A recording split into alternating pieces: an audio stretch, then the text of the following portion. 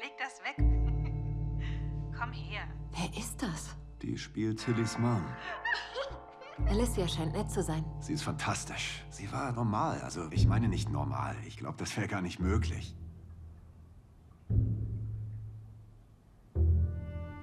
Und wie geht's Ben? Ich habe gehört, er hat euch aufs Land verfrachtet. Hat ihn die Idee der idyllischen Ruhe denn inspiriert? Ja, ja. Äh, Es ist ganz toll.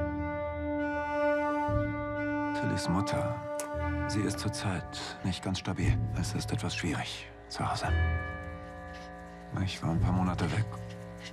Erst hat sie es nicht ausgehalten, dass ich nicht da war. Und dann, dass ich wieder zurück war.